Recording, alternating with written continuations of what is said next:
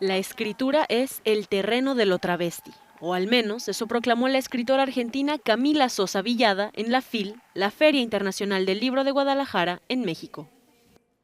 Después de una edición virtualizada de la FIL 2020 debido a la pandemia, la escritora trans recibió finalmente en persona y con ovación el premio Sor Juana Inés de la Cruz que la FIL le otorgó el año pasado por su novela Las Malas una obra que su autora considera como el mejor testimonio de una prosa travesti.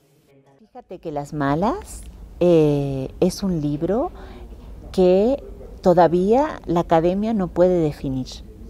Ellos dicen, bueno, es una crónica, pero también tiene realismo mágico, pero también es crudamente real, pero también es una autobiografía. Incluso en el prólogo, Juan Forn, ya él tampoco sabía definir qué tipo de libro era. Entonces él dice, es una crónica, es un cuento de hadas, más un cuento de terror, más un manifiesto político, más una, qué sé yo. Bueno, yo digo, definitivamente las travestis siempre andamos detonando todo. A pesar de que la palabra travesti suele definirse como alguien que se viste con ropas del sexo contrario, ha sido también utilizada como un insulto hacia la comunidad trans, algo que Sosa busca rescatar y reivindicar a través de su obra. Bueno, no tengo por qué estar heredando palabras que no me pertenecen. A mí sí me pertenece la palabra travesti. Y fíjate que en las malas, todas se nombran travestis.